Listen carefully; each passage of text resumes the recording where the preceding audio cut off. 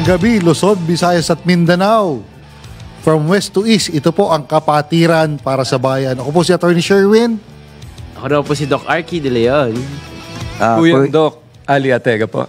ah, Kuya Jerry Sadsad po, isa ring manananggol. Wag lang manananggal. ah. Yeah. okay, okay. Kami po ay mapapanood at mapapakinggan via website www.dwiz882am.com at i-download ang DWIC app sa iOS at Android phone. Live rin kami sa DWIC 882 Facebook page and YouTube channel. Ang aming pong text line 0999-376-6768. Tayo rin naman po ay mapapanood sa Digital Free TV Alo 23, Sulit TV, Channel 25, Signal 20, Channel 23, Satellite, Satellite ah, Channel 24, TV Plus Channel 27 at GMA For the Box Channel 25. Available rin po kami sa digital TV devices, TV receivers. Mangyari scan lamang po ang inyong digital TV receivers at digital box upang mapanood ang Aliw 23. Okay, ah, konting pagbati lang po kasi eh, siyempre na-install yung aking anak ah, kahapon. Wow, congrats. Ah, as the third ah, Master Counselor of Pasig City Masonic Lodge. Yun. Ah, chapter number 113 Order of Demolay, sponsored by Pasig City Masonic Lodge 409. Nang Ang ge- Daddy, ah. Ang guest namin eh, dalawa lang naman, dalawang Grandmaster. Grandmaster of Demolay, si Raji Mendoza at Grandmaster of Masons, si uh, Ariel T. Kayana. Yun. Oo. Puro mga Kaya medyo challenging ito kasi although six months lang kasi kuya ang Demolay eh, Mm. ang term nila. So, ah, sana. Isang facing. Yes, so yes. parang sa jobs bit, term A, term B, parang Oh, ano? term A, ter- term B. Ganun talaga. Oh. It's same with the ano, jobs so, uh, Jobs Daughters and uh, Rainbow. Rainbow, oo. May nagpapa-shoutout lang po si Jopi. Kamusta ka na, brother? Oo nga, nandyan lang sa harap Diyan lang sa natin. tabi-tabi. oh, ang ganda pala ng ano natin, no? Yung, Oo, yung uniform natin, oo. Oo, you sa care of Pine- Pine Craftsman. Oh, kaya- Maraming salamat po sa Fine Craftsman. Salamat po, Kuyang Manilak Samana. Thank you po. Ayun, very good. Sabi So, ng mga tech, yun daw sa kanila, nasa na. Andyan may- lang po yun. May, mahirap sa i- ilagay sa TV yun. Baka, baka talagang tuta pa rin yun. anyway, so without any uh, further more introductions, let's go to the topic. Yung topic Ah, natin ngayon, medyo yes. nakakaantok ba to? Oo. Teka muna, bago natin pag-usapan yung, yung topic tungkol sa pagtulog, eh, yung balitang na, na, nagpagising sa buong Pilipinas. Ay. Nakadalawang gintong medalya. Oh, yes, yes. Kaloy, yun. No? Ayun, yes, uh, Carlos Yulo. Congratulations po. Lupit, no? Wala tayo. Mula po sa kapatiran para sa bayan. Not just once, but twice. Twice. Congratulations. na all. Congratulations. Oo. Okay, so dito tayo sa topic ng sleep disorders. This is just a continuation yung dati yung na, nakaraan na topic natin. So medyo mas uh, enhance yung topic natin ngayon and enlightened. Oo. Focus. Mas focus. Parang ATC lang, educational and then now enlightened tayo. Yeah, Ni- naka-align, naka-align. ni ah, Sir Victor Nale. Siya ang ah, founder ng ah, Snoring and Sleep Disorder Institute. Isa rin po siyang respiratory therapist, especially or subspecialized in sleep technology. Yes. Magandang gabi po, ah, Sir Victor. Singapore, no? Ah. Opo, magandang gabi po sa inyo lahat, pati po sa inyong mga viewers at saka tagapakinig ng inyong programa. Magandang gabi po. Okay, hi din po kayo sa mga na- nanonood, lalo na dito sa studio. Oo. Supportive, ano nyo? Supportive. Very oo. supportive. Meron po kaming isang batalyong mga audience Yes. dito sa, Yes, sa yes. studio. Handang-handang magpatulog. Luzon, Visayas, Mindanao. Kasi I heard a while ago na meron pang taga Sambuanga. Yes. Okay. So, sir, ah, bakit po ba tayo natutulog? Yun muna. Yan. Yun. The very first question, basic. Yes. Bakit Yes, ba kailangan basic. matulog? Marami po kasing um, uh, theories at saka benepisyo kung bakit tayo uh, natutulog. Unang-una po, ito po yung uh, time na para yung katawan natin makapag-recover. You know, yung recovery state. Di ba ho, uh, siyempre gising mo tayo ng ng umaga. So pagdating ng gabi, kailangan din magpahinga ng ating katawan. At saka po, ah, yung sa mga bata po, di ba pagka natutulog sila, dito rin po nare-release yung growth hormones. Kaya nga nung bata kayo, di ba, kadalasan ah, pinapatulog kayo parati. At saka yung mga babies, makikita nyo, mga 4 to 17 hours sila natutulog. Tulog ng tulog. Oh, yes, yes. oo. Sir Victor, Opo. Ah, may nag-message po na inaantok daw po sila sa ganda ng boses. Iya. Alambing. Kung pwede daw po, pakilakasan daw po ng. Ah, ganun. Talagang nakakaantok po yun. Parang pinaghehele. ah. oh, Oh, di ba? magaling sa trabaho niya. Ang Antok na ganda. po ako. eh. Effective, di ba? effective, effective. oo.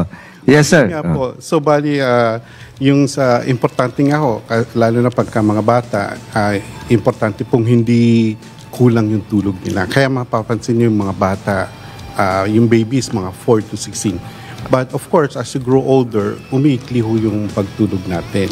Okay. Ah, yung mga mature like us, 'di ba, ah, Kuya Al, ah, ano ba yung standard natin na o sabihin natin minimum na tulog kada araw Sa bata. every day? Tapos, Mm. Siguro sa bata eh parang sinabi ni Sir kahit 17 hours eh. 17. Oo. O yung mga sanggol po, Yung mga baby. Oo. kasi mga nasa 4, according to the National Sleep Foundation po, Opo. Ah, yung babies po nasa around ah, 4 to 17 hours of sleep yan. Kasi iiyak lang po siya pa, pag nagugutom, tapos ah, dedede, tapos matulog Tulog ulit. Oo. Wala din ang pahinga ni mami eh. Kaya tapos as you grow older po, let's say for example, ah, Adolescent. yung schooling, mga nasa 9 to 11. Kasi there are other external factors tulad do papasok na sila sa school. School. ah. Yung school timing nakaapekto. Ah, minsan naman yung kultura nila. So for example, ah, yung sa ibang bansa, ah, let's say sa Indonesia or sa Malaysia, kasi kailangan nila magdasal, ganun. Ah, marami pong ah, Factors. factors na nakapekto. Tapos, pag tumatanda po tayo, usually ang sleeping time niya around 7 to 9 hours. 7 to 9. Mm. Kasi, Mm. siyempre, pag tumatanda po, ah, mas less na yung activities. No, Ano po? So, ibig sabihin, mas maikli pa yung sleeping time ng bata, ng mga teenager, gano'n. Yung ano po, ma- mas mahaba po, mas maikli Ah, pag, pag matanda na kasi siyempre testing activities ng ano. Sir, may tanong lang ako, no? Kasi nakaka-17 hours yung mga sanggol, yung mga baby. Ah, kung kami po ba dedede, hahaba rin po ba yung tulog? eh, hindi, yung kumbaga inom po kami ng gatas o rin po kami. Makakatulong po kaya yun. Well, actually, according to studies po, yung milk po talaga, warm milk, Ayun. can help you go to sleep kasi meron siya yung tryptine na tinatawag na Mm. Opo. May follow-up question lang po ako dun sa sinabi ni Kuya. Dede lang ako. halimbawa po, sa mga tanong. halimbawa, 7 to 8 hours, di ba? Paano halimbawa, ah, kagabi, naka 6 hours na tulog ka lang. Pwede mo bang bawiin yung tonight na, ah, matutulog ako ng mga 10 hours. 10 hours para yung, yung na-deprive ako ng 2 hours last night, mabawi ko. Ganun po ba yun or it doesn't work that way? It doesn't work that way po. Ah, kasi po, ang pagtulog po, um, kailangan ho talaga niyan, ah, may regular sleeping time kayo at saka regular waking time. Pag kinulang kayo ng, ng tulog, kunyari the day before, ah, tapos eh, kadalasan yan, ah, hahaba nila kasi kulang ako tulog kagabi. Or True. Babawi. let's say over the weekend, 'di ba? Oh, walang pasok bukas, habang ko yung tulog ko. Yung tinatawag nila ah, yung binge sleeping.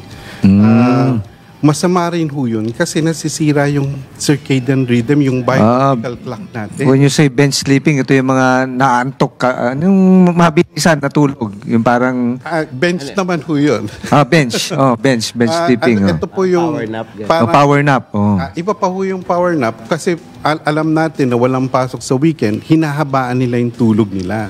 Okay. So, ang pinakamagandang explanation po dyan is ah, parang yung pagkain natin, we eat three times a day. Pagdating ng umaga, eat tayo ng breakfast. Pag tanghali, mga alas 12, kakain tayo ng lunch. Pag binago natin yung oras natin, let's say nag-breakfast tayo ng 11, hindi ka makakapag-lunch. Mm. So, ganun din po yung pagtulog. So, yes. Ano yung model time to to sleep? Is it 8 o'clock, 9 o'clock, 10 o'clock ng gabi? Or, ah, Wala Ah, naman wa- pong specific time na ano kasi depende rin po yung sa work schedule. okay. Eh, baby. Ah, Yes, yes. oh, yung may night shift sleep disorder rin po. Pero it's better to sleep at night rather than ah, on day. Opo, Parang ganun. May marami pong factors kasi pag madilim, maganda rin kung ah, matulog pagka patay lahat yung ilaw. Kaya pagkagabi, mas maganda. Mm. Oo. Ah, okay. So mas masarap matulog pagka madilim. Apo. kasi yung, yung natural pattern po kasi no, ah, nung wala pang electricity, yung yung pagdating ng dilim, 'di ba? Let's say yung eh, during the evolution, madilim na, natutulog na yung tao. So, pagdating ng araw, yung araw is actually the natural alarm clock natin Yes. para gumising. Yes. Pag sikat ng araw, yung araw na may ginagawa sa katawan natin, ah, it it stops the production of melatonin. Okay. Ah, etong maganda kong ah, tanong para sa akin ha, na yung ah, in, in relation dun sa mahimbing na tulog. Halimbawa po, yung pag, pag sinabi mo kasing mahimbing, may mga stages ng tulog po yan eh. Apo. Oo, yung light and then if you go to the very deep uh, sleeping, which is nakaka-improve daw ng mga bone marrow and any parts of the body. Opo. Tama po ba yon? Opo. eh. Bali po kasi pag natutulog tayo, may two major categories yan na tinatawag. Yung sinasabi natin non-REM. So yung non-REM is non-rapid eye movement. Okay. Divided into three stages of sleep po yan. Okay. Meron stage 1, yun yung light sleep. Yung parang nasa kotse kayo, pipikit kayo, pag umandar yung kotse, didilat yung mata nyo. Sa bangga na kayo. Hindi naman. Huwag naman. Huwag Ito sa naman. traffic light. so, yung stage 2 medyo mas palalim ng konti. Tapos yung stage 3, yan po yung pa-enter na po kayo ng deep sleep. Kala ko pa-enter ka na ng heaven. Tapos, yung isang category po is yung REM phase, yung REM sleep. Ito po yung dream phase. yeah. Kaya nga pagka sinabi natin ikaw ay nanaginip, ibig sabihin mahimbi, nagkaroon ka ng mahimbing na tulog. Oh. Huwag na. Sir Victor, tanong ko rin rin po, sign po ba ng mahimbing na tulog yung tumutulo na yung laway? Sign po yun na nakabuka yung bibig. Ayun. Ayun. Yun pala yung logical answer doon. Kala ko pagka yung nag-drool na. medyo, Oo. Ang ano naman ho kasi nun, ah, minsan bumubuka yung bibig, lalo na pagka may sleep apnea. Ah, yung airway niya nagbabara. So ang tendency, parang pinitch mo yung nose mo, ano mangyayari? Bubuksan mo yung bibig mo. Correct. Oh, So correct. doon ka ngayon hihinga. Kaya maaaring yun din yung nagkakos kaya tumutulo yung laway. No? Yung mga positioning ng tulog naman po, ano yun the best position? Yung nakahilata ka, nakatagilid? o nakadapa. Oh, kasi nakikita natin sa mga internet na mas maganda daw yung nakatagilid eh. Sideways. Oh. Sideways. Tama po ba yun? Organs, yung acid ng chan. Yes. Opo. Bali po kasi ang recommendation niya po is ah, yung naka-lateral position o yung nakatagilid. Kasi pagka naka-supine o yung nakahilata, yung airway ho kasi natin, lalo na pagka medyo may kabigatan tayo, di ba, o medyo overweight, ang nangyayari, pag natutulog ko kasi nagre-relax yung muscle. So pag nag-relax yung muscle, bumabaon ngayon yung ano yung dito so nagkakos siya ng narrowing ng airway tapos yun sumisikip so pagka tumagilid kayo kasi nga yung gravity pinupull niya hindi po nababarahan yung ano Oh, kaya medyo Kung mag-advisable yung nakatagilid. Kasi nakatagilid. alala ko sinasabi ng mga matatanda, di ba, para bawa naghihilik ka at, at matulog ka na nakatagilid para maiwasan mo yung paghihilik. in fact Sabi nila. Opo, eh, in, in- trivia nga ho, no? Uh, we are the only species on Earth na who sleeps in a supine position. Halos lahat po naka-prone yung pagtulog. Sir, pag tagilid po, anong side po yan? Ah, depende po sa Kasi sabi parang pag right, yung organs mo, ganyan. um, Oh. Yung acid ng chan, pag Mm. ganito ka, yung sphincter mo, hindi natatakpan. So, mas maganda daw sa isang side para Left wala kaya o siya- right? yung acid mo wala sa sphincter. mm, Kasi nag-usaw yun, so nagkakaroon ng GERD, ganyan. Ah, okay. So left or right Yun yung side? sinasabi nila. well, ang ano po Left. Ang ano po kasi yan, kung saan komportable yung ano. Ayan, ayan. Oo. Sa akin kung nasan si Mrs. eh. Napaka-lo- napaka-loyal na sagot. Habol ako. Minsan gusto ko ganito, kaso may umakata. Ah, okay. Away kami ni Mrs. Sa kabilang side daw. Oo. So ano po yung mga nangyayari pag halimbawa po sir, kulang yung ah, sleeping time mo, less than of 8 hours. mga Kulang ganyan po. or hindi maganda yung quality of Oh, sleep. yes. Ah. Po, yung papatlang-patlang ba? Parang Marami ganun. po yan, yung mga Opo. sleep negatives. Unang-una po, it can lead to uh, yung other serious health. Uh, For example po, it can lead to cardiovascular issues. Um, or it can lead to stroke, hypertension. Um, yun yung sa ano natin, yung, kumbaga, kasi pagka, for example, may sleep apnea ka, pag huminto ka huminga, ang mangyari yung oxygen level sa katawan mo babagsak. So pag bumagsak yung yung oxygen mo, yung puso mo magpa-pump double time yan to compensate. Mm. Parang pwede natin ihambing yan sa pag 'di ba pag tumakbo tayo, Yes. after natin mag-sprint, yung pulso natin 'di ba mabilis. Mabilis. So nagko-compensate kasi yung heart natin. Eh ito natutulog ka lang. Wala kang ginagawa, parang may sumasakal sa iyo. Tapos yung puso mo bumibilis yung ano, yung Tibok. yung tibok ng puso mo. Pag bata ka pa, okay pa yon. Pero habang tumatanda ka, it will take a toll dun sa sa health mo. Yan. Kumbaga, habang, habang in-explain ni Ayan, yan. oo. Sir Vic, mayroon mga slides na pinapakita sa screen. Na ngayon, yung common sleep enemies. Oo. ah. Tulog. kape pala, sleep enemy, alcohol. Ayan. Opo. Blue light. Yung, yung bingi, no? Eh di ba yung blue light eh para para sa ano po yun sa mga lamok yung ah, pag mga blue light oh. Okay. So, ah, yung sa mga may hilig po sa ka- kape, eh, ah, Opo. ito po ay isa to sa mga sleep enemies. Ah, in fact, eh, pagka babawasan niyo yung pag-inom ng kape ay maaring maka pagpahingbing ng tulog sa inyo kasi alam natin yung kape is a powerful ah, stimulant yan. In fact, pag uminom kayo ng kape, meron siyang parang tinatawag na 6-hour half-life. Ibig sabihin, pag uminom ka, for example, ng alas 8 ng umaga ng kape, yung kape na yon para ma-dispose sa katawan mo, ah, it take it can take almost about 24 hours. Wow. So, 24 hours, so. so kunyari 8 ng umaga uminom ka ng kape, 8 ng gabi may 25% pa ng caffeine sa katawan mo. So kung uminom ka ng kape, let's say mga after lunch, around 12 midnight 50% pa ng caffeine nasa katawan mo. So yung mga tao inom uh, inom lang ng inom lalo na yung mga nasa opisina. Tapos magtataka sila hindi sila makatulog. But here's the thing, once you go to sleep, uh, the worst is yet to come. Bakit? Kasi yung kape, it uh, suppresses your REM. Yung REM, yun yung pahingbing ng tulog.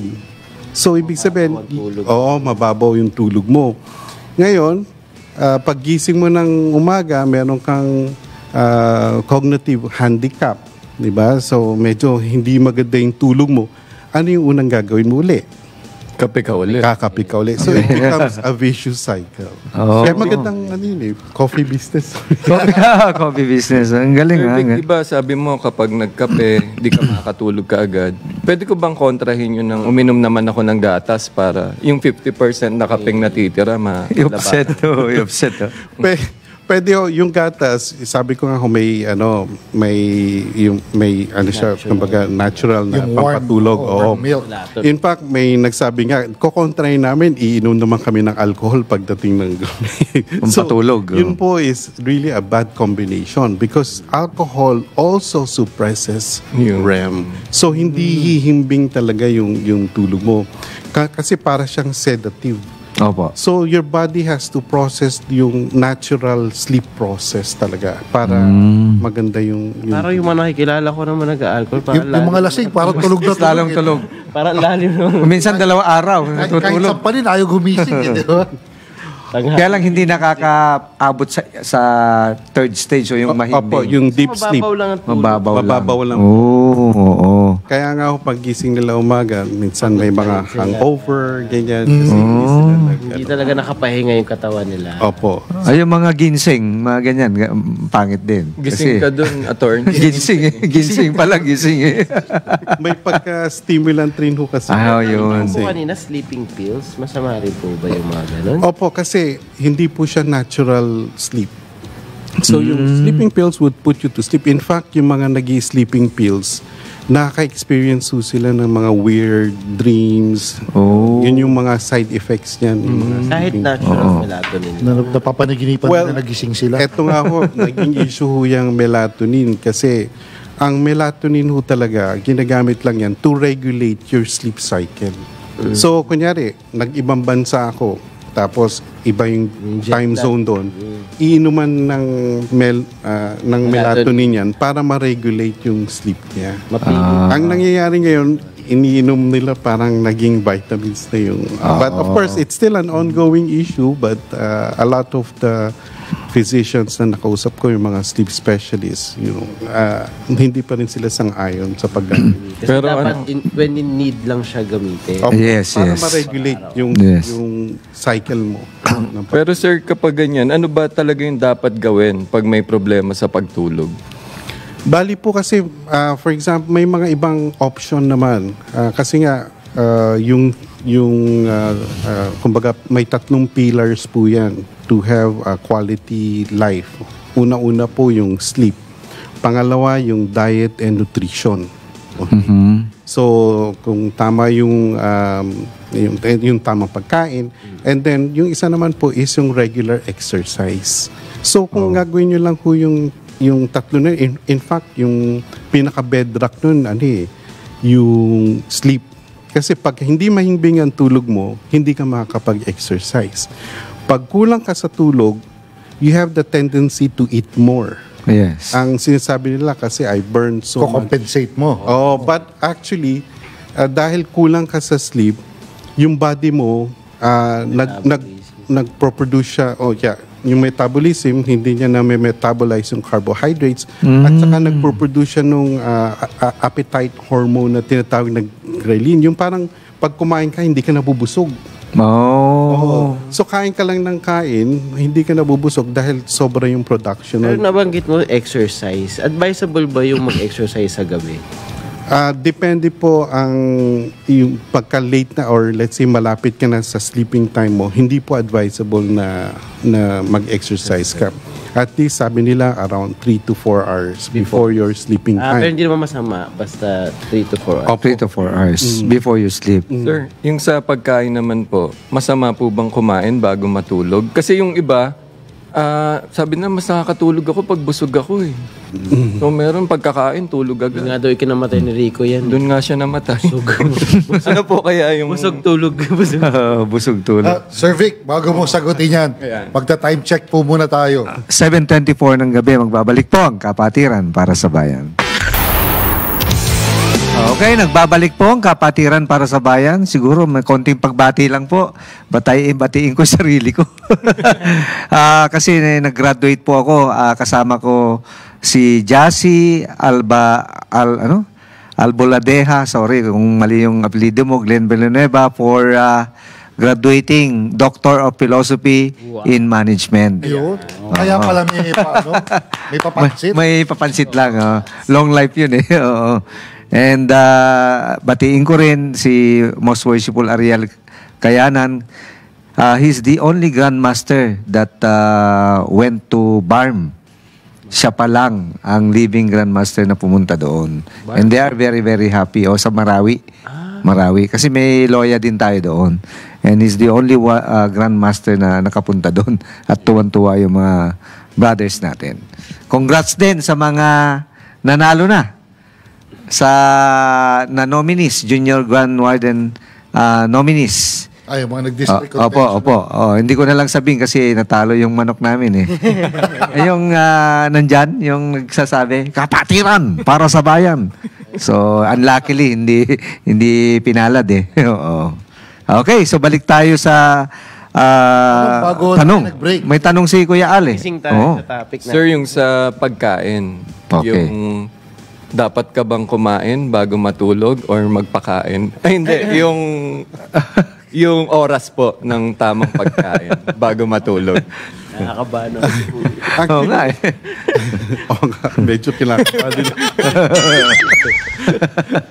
Pero yung, yung sa pagkain po, hindi po advisable talaga na matulog kagad. Yung, kasi hindi lang naman po sa sleep may epekto yun. Ah, pero yung sa ibang kalusugan, kasi syempre pwede mag-regurgitate yung, yung pasyente or yung, yung tao mismo. Ah, ang inaano po, ang naalala po sa sleep, bawal po yung mga spicy food bago matulog ng gabi kasi pala. Oh. it can disrupt yung yung sleep nga po. Yun yung na Ano yung... Hours before ka matulog ang ang sabi nila at least raw 2 to 3 hours. 2 to 3. Yung, yung last meal mo, 2 to 3 years bago ka matulog. Parang mukbang yan, mukbang. Oo, oo nga, oo nga. Labanan. Or, Eh or bawasan na lang yun. So, ina-advise nyo ba yung siesta? Kasi Okay. natin yun. eh. So yung siesta po kasi, ah, yung tinatawag natin na power naps. Opo, opo. Kaya lang yung sa atin ho kasi, ang, ang siesta ko kasi is usually around 10 to 20 minutes. Ah, kasi kaya nga ako tinawag na power nap.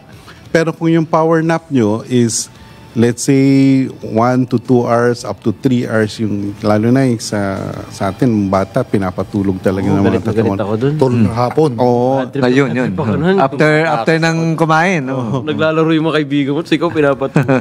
Yun nga ho, ma- ma- maaari pong masira yung circadian rhythm. Di ba nga, Oh. inahambing ko nga ho sa pagkain. So kung natulog kayo nung hapon na yun, um, mahirapan kayo matulog sa gabi. Sa gabi. Oo, Okay. Kasi yung hapon na ho yun, yun talagang ano, um, nakakaantok. Yun yung tinatawag na mid-afternoon dip, di ba? Lalo na pagkakain ng lunch. Yes, yes. Kasi marami hong factors. Una-una, after natin kumain ng lunch, ah, hindi naman tayo nag-exercise. We tend to ah, sit back and relax. So, ang nangyayari, yung body temperature natin bumababa. So, pag bumababa yung body temperature natin, it induces sleep yun. So, pangit din pala yung intermittent uh, sleep. Ah, kasi pag sinabi intermittent, da- dalawang oras ngayon hanggang makumpleto mo yung 8 hours. Mali yun. Mali po. Parang Oh. yung tinatawag po natin na sleep deaths, hindi po pwedeng ano yan, ah, one whole night o two nights mo babayaran. Mababayaran lang po natin yung sleep sleep deaths natin pa, through regular sleeping schedule. Consistent Kumbaga, ka. Consistent. installment. Oh. Kaya hindi okay. totoo yun, o puyat ako dalawang oras lang ako natulog nung gabi yun. Ngayon gagawin kong sampung oras. Hindi po. Ayun. Pero sa inyo po, okay ang power nap. Ah, Wag lang basta lalagpas ng opo, 20 minutes. basta 10 to 20 minutes i- max. Yun, para ho hindi ma-disrupt yung circadian rhythm na tinatawag, yung Oh. internal body Talagang clock short natin. inter, ano lang, Yes, short yes. period lang para ma-recharge Yes. lang. So tungkol dyan sa body clock, kasi marami kong estudyante nagpupuyat para lang makapag-aral. Kaso pagdating sa examination, parang ina Mabablanko. prepare sila ng prepare. Kaso pagdating sa mismong exam, bumibigay ka. Namimin, oo, Opo. yun. Bali, yun nga um, kasi yung sleep po kasi, um, yan po yung pa- parang tinatawag nating save button. Kasi nung nung college rin ho ako, nagsusunog rin ako ng kilay. Buti, Mag-aaral. buti makapal pa po. Oo, baka- makapal po siya. Ikaw parang hindi ka nagsunog. ah. Oo. Oh, Nangongopya lang eh. nag-aaral, oh. Yes, Kuya yun, Jerry, ah. wala kami hilig magbasa. Nagka- Hairline yun na sinunog. Tapos nagyayabangan pa nga yan. Hangga, eh, lahat iniinom. Inom ng kape, kinakain yung kape, uminom ng coke. Tapos may mga kung ano-ano pang gamot na iinom. Kasi pa, to stay awake. Ngayon, pagdating ng exam, pagkasulat ng pangalan, ano nangyari? Mental block. So, dahil walang tulog. So, for example, lahat ng mga ine-explain ko ngayon dito, ah, kumbaga sa computer, nasa-save lang yan sa temporary drive natin. So, once you go to sleep, yun yung pinipress yun yung save button.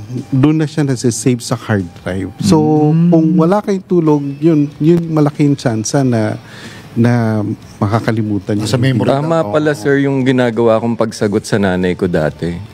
Kasi ginigising niya ako. Sabi, anak, may exam ka bukas, ba't ka natutulog? Sabi ko, mahintayin mo na lang result pagkagising. mo." Yun ang maganda. Oo. oo.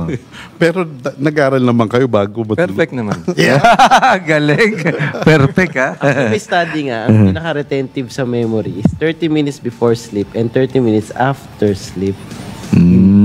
Kasi di ba parang, parang kung ano yung thought mo bago ka matulog, parang most of the time yun yung napapaniginipan mo. mo. uh, Yun yung- Yes, yes. Doon ka nagko-contemplate doon sa pagtulog mo.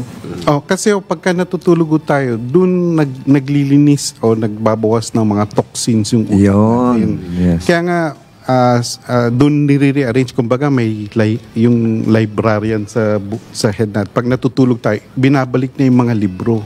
Sa bawat ano.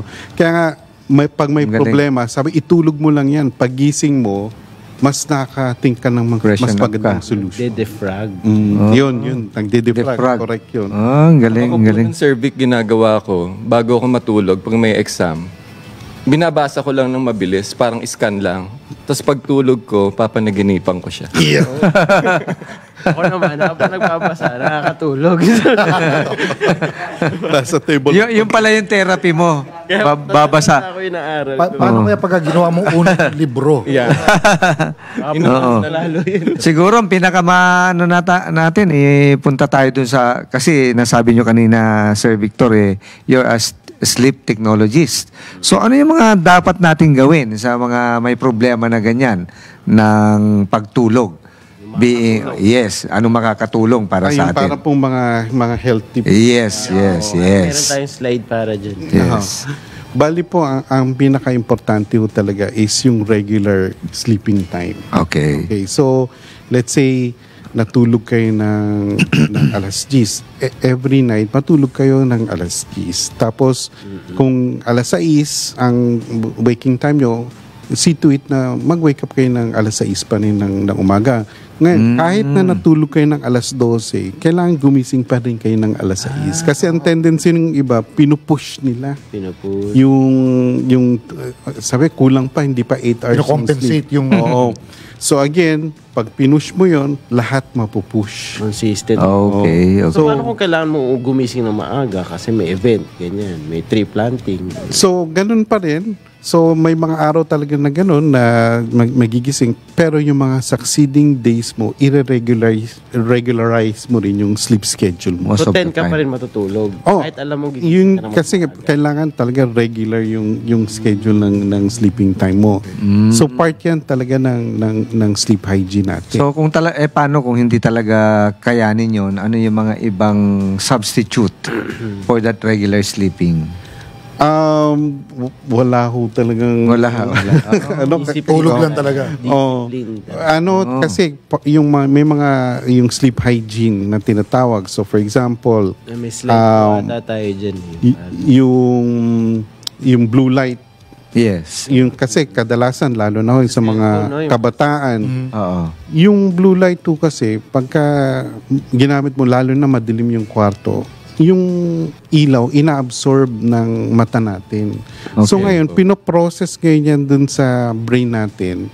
Ah, si, ang, ang baling sinasabi, uy, may liwanag, umaga na, gising na. So, Yeah. ang nangyayari, yung brain mo, pinoprocess, ah, hinihinto niya yung production ng melatonin.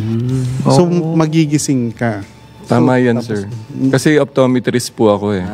Meron po kaming blue light protection lenses. Ayan. Ah, Yeah. yan, yan. Visit lang po kayo sa mga office.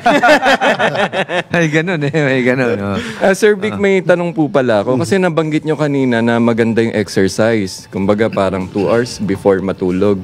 Ah, makukonsider po ba na exercise yung pakikipagtalik sa asawa niyo po? Oh, ayun. Pero nagsasalita talaga. Akala ko okay na eh. May Parang, na. ano, parang all the way show lang to. ah. Parang Punta ulit tayo.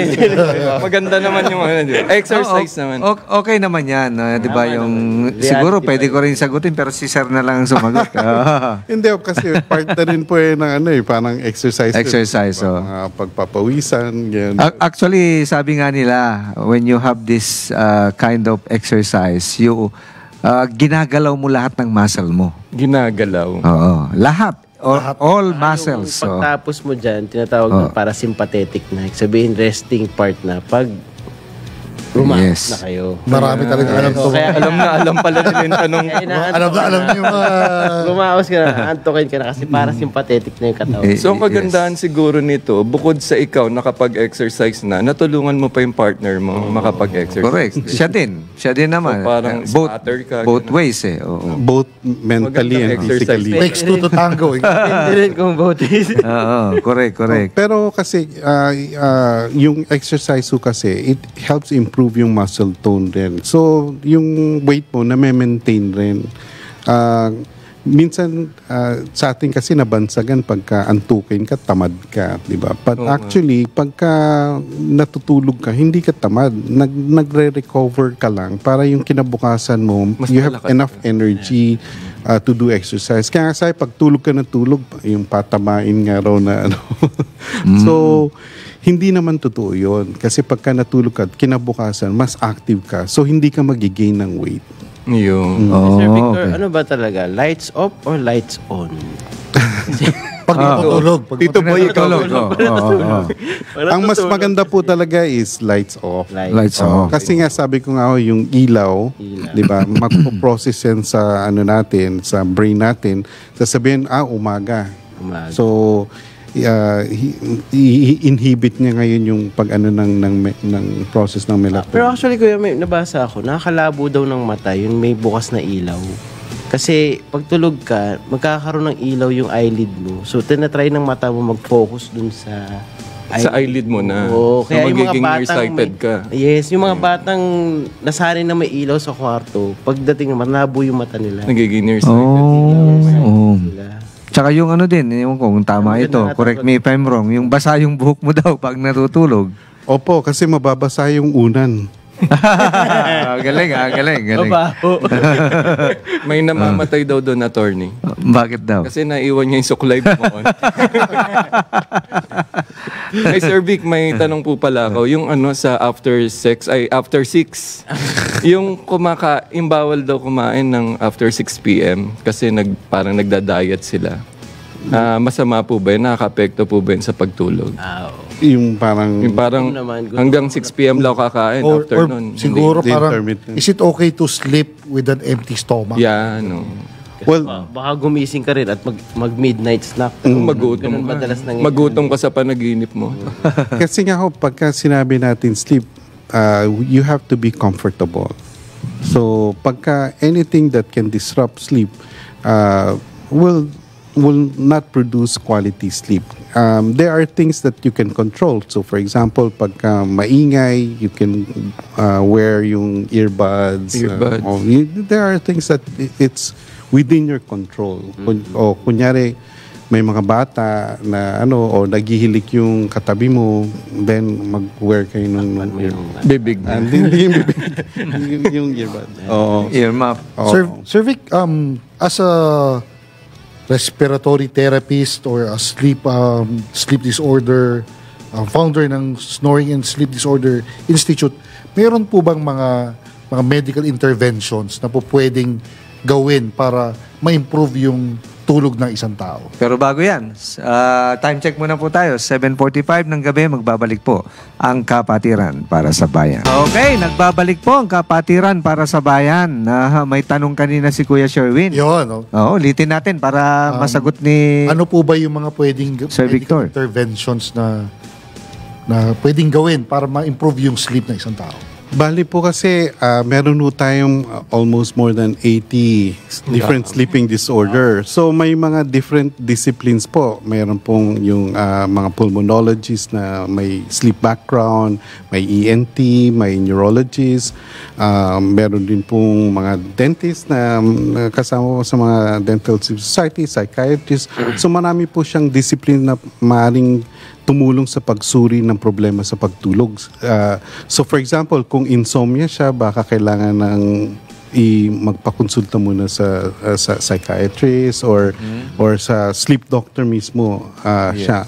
Pagka may sleep apnea siya, so ah, kailangan muna ah, baka gawin muna ng ah, yung yung sleep study. Kailangan nila pumunta sa sleep center, may mga hospital na po sa Pilipinas na may mga sleep center. So magpapaschedule lang po kayo doon para ma-pinpoint kung ano po talaga yung problema nyo sa pagtulog.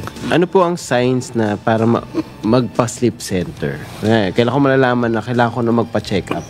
Ang mga ano ho dyan, ah, yung mga naghihilik, um, lalo na po yung humihinto sa paghinga. Mag, Magsisimula ho siya, mag-snore, ganyan, tapos magpo-pause. If it's more than 10 seconds pa, hahagok yan. Yun po yung masama. Isa pa nga, isa pa nga. Parang may generator, mga gano'n. Oo. Yun po yung nakakasama. Ngayon, Yung iba naman, o pagka hindi makatulog, ah, baka po may insomnia siya. O, pero may mga, ano po dyan, Yung mga sleep talker tsaka sleepwalker, ah, Ay, ganun din. Yun din po. Oh, more on sa sa neuro siya. Uh, Pero may mga advice, for example, uh, pagka 20 to 30 minutes you keep on tossing and turning sa kama nyo, di ba? Uh, lumabas muna kayo ng kwarto uh, para ma- kasi ho, parang ano yan eh, sa pagkain uli. Hindi naman tayo naghihintay sa sa mesa para magutom. Yes. So kailangan ma-associate ng katawan natin na yung kama is only for sleeping. In fact, for two things, sleeping and yung paborito- Exercise. Exercise. Exercise. Oo, yun ba? Parang um, nakita ko meron tayong mga- ah, Ay, dumami tayo kasama sa Yung likod. mga magagandang babae at nagagwapuhan opo. lalaki sa likod. Yes. ah, hindi man lang umiti. Dapat nakangiti dapat eh. Nakangiti. Oo. Kaway naman kayo dyan. Sino-sino to mga sa to Sir Victor? Ito po yung mga different uh, uh, sleep technologies po namin uh, Oh. from may may mga sleep centers po. Kuya Al, ma- makakatulog From Manila tayo. hanggang Zamboanga po. Ano po ba yung pangalan ng ano nung sleep center nyo? Ah, may mga ano po yung yung Med Alpha uh, Sleep Alpha, Center, yes. tapos yung SSTI, tapos nagtataya up rin po kami sa mga different hospitals. At saka po kung may mga hospital diyan na gustong magtayo ng sleep center, pwede po kaming makipag-partner po sa inyo. Kasi ito po is not just my passion. Ano na po to, ah, as a sleep patient myself, it's already Oh. my purpose. Yung, kumbaga, yun na yung nahanap ko na yung purpose ko sa sa buhay. Tsaka ang laki ng benepisyo pag maayos ang tulog. May mga tulog kasi na 8 hours ka nakatulog, pero pag gising mo parang pagod na pagod ka pa rin. Ganun pa rin. Yan Ganun po. pa rin. Yan So, po. yun ba yung naayos natin? Opo, sir? yan yung classic example ng sleep apnea. So kung na-diagnose po siya, may mga intervention, maaaring po siyang kung mild siya, maaaring pwede yung mga dentist gagawin sila ng oral appliance or let's say yung CPAP machine na sinusuot para to keep your airway open, para yung oxygenation nyo maganda, pa- para kompleto yung tulog nyo. Sir, Okay, okay. oh. Sir Vic, matanong ko lang, may tawag po ba sa grupo nila? Halimbawa, Katie, kilusang tulog. o kaya pwede po bang magpakilala sila ma'am, sila sir? Yes, yes. oh. Sa tingin ko Yan, po, yan. maraming gustong makatulog sa tulong nila. Joan po, admin. Viel po. Daughter. Yun lang talaga Sa, sa sleep rin po siya, sa Singapore po siya. Opo. COO, child of the owner. Hello po, I'm Julian, RT student. Ayan. Uh, Audrey po, RTRP, then Sleep Tech. Yun. Ah, Carl po, sleep technician. Uh, represent ko po yung NCR, sleep NCR. Ayan. Ito, iba yung uniform. Ah, So, Patrick po from Pangasinan. Ah, RTRP and Sleep Technologies po.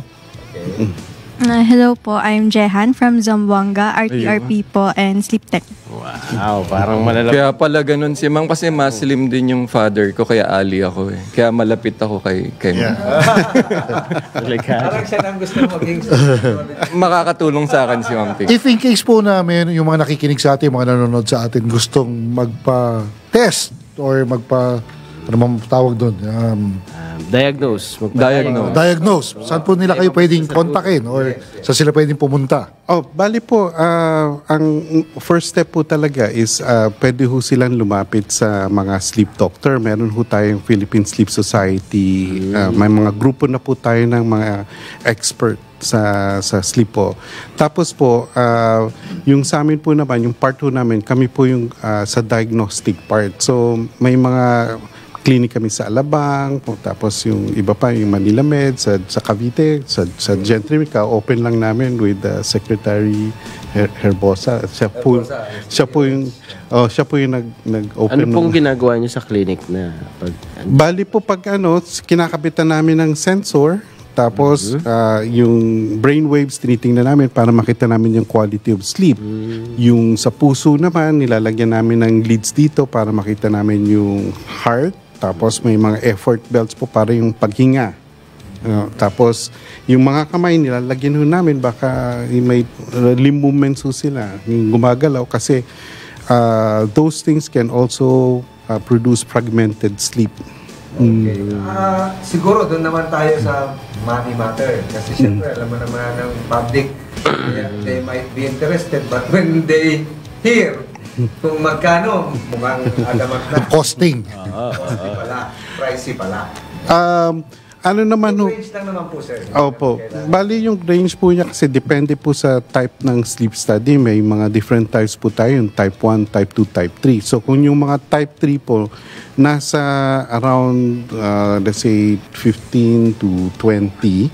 Tapos pagka yung, Ano po yung type 3? Ano yung mga yung para i-assess lang po, or uh, processes na ginagawa niyo po? Bali po, yung if meron po silang sleep breathing disorder, yun po yung ina-assess nila. Ngayon, yung mga full sleep study po, nagre-range po, depende po sa hospital at saka yung location ng hospital, nagre-range po siya around 24 to 45. Pero covered po siya ng ano ng ng PhilHealth po. Mm. hindi na masama kasi kung, Type 1 naman po, yung Ayun, gano'n na rin po yung ano, Almost the same. Oo. pero okay na yun, sulit na yun kasi kung maayos naman yung tulog mo, eh, long term naman mong benefit yun na Saka covered naman pala ng PhilHealth. So, kasi one time lang yun. Forever ka ng ma- maganda tulog mo, sulit na rin. At saka may mga HMO rin po na nagko-cover. ayan. Meron din. HMO. Okay, so napakagandang topic pero as usual, kapos na tayo sa oras. May part 2. part 3 na nga ito. Part 3 na pala. Pero sir, siguro, konting ano na lang po, uh, pati-advertise po yung Contact information or may website. Ah, may or- gusto kayong batiin. or- Opo, bali po, ah, kami po yung ah, Med Alpha Philippines. Actually, we have over 38 sleep centers po in Southeast Asia. Ang pinaka-base po namin is in Singapore. Meron din po tayong branch sa Malaysia, Indonesia. So, yung Philippines po, dyan po yung main office namin sa Alabang. Tapos meron din ho kami, yung mga gusto pong mag-train as sleep technologists, nagtitrain din ho kami ng sleep technologies. Nice. Oo. Y- So, hi kay uh, Shane, Iya, Emil. Emil, congratulations for being Master's Counselor for this term. Binabati ko po yung aking mga anak, si Sean, si Santi, si Sofia at si Shane. Yung Oh, binabati ko po yung yung, Yung anak Opo, yung yung family ko po, yung si Emma, si uh, Emmanuel, si Elijah, tsaka yung mga daughters ko, si Vianica, Anika, tsaka si Erica. Tsaka yung nanay ko po, na binabati ko po, at tsaka yung mga kapatid ko na nandito po sa Pilipinas at tsaka sa abroad. Na, batiin din natin mga people behind the scenes, ang ating tech engineers, si Kay Constantino, Aldrin Cruz, and Chat Josue. Ang writer natin na si Hyacinth, Hyacinth Ludo- Ludovico, ah, CA Jacqueline Rose, eh, Jacqueline Santos, and next program, Pangga Nika, Hindi pa po Si, yan, si Pangga Nika Abaw. Hindi. Ayan, magandang mauna na sila para solo konental. Last. Ah, binabati ko lang yung misis ko pag uwi ko since nanood ka naman kung paano matulog ng Yeah. masarap. So, matutulungan mo ko mamaya. Ah, ako rin yung, mi- yung misis ko, tsaka mga anak ko. Sana patulugin tayo ng mga anak natin mamaya. Maraming salamat po pala sa mga guests namin na nagagandaan sa likod. So, uh, Kita next kits. program. Tapos na? Ah, next. Tapos na. Pangga with Ma'am Nika Abaw. Yes. Until Kita next week po. Maraming salamat. Salamat po.